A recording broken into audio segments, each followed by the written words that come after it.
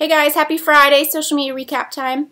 I got some big updates this week. Pinterest actually leads the pack with two updates this week. First up is for businesses. They now have a tool called Now Trending. What this is going to let you do is using their API, you can use put the images on your website that are receiving the most love on Pinterest. Now this is great because visitors will visit your website and they'll see the most pinned um, products that you're selling and we all know social proof influences buyers' decisions. So if you're an e-commerce site, make sure you're on Pinterest. This just rolled out to select brands but it's going to continue rolling out in the weeks to come. Next up is a personal um, thing for Pinterest. It's called Place Pins and what you can do is um, pin interests in, rel in relation to a certain location. So um, you can kind of place pins all over the country, the world when you're visiting things, whether it's you know something you bought or something you ate. And you can also see some of the brands that help Pinterest get this going. Um, Fodor has released America's Best Hot Chocolate. So you can kind of see where those locations are. Super cool.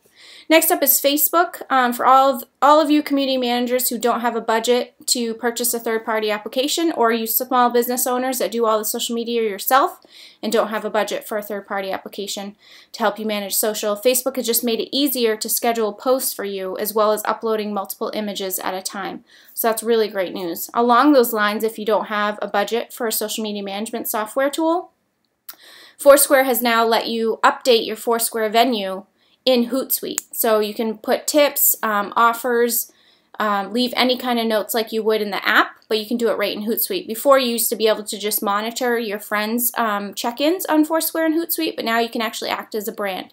So that's really great.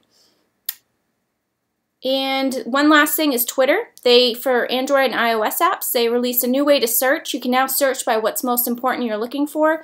You can, they have a new filter functionality and you can search by photos, links, etc. So definitely go check that out. That's all I got for you this week. I hope that was great. Let me know if you miss, learned anything that I missed and have an awesome weekend. Bye.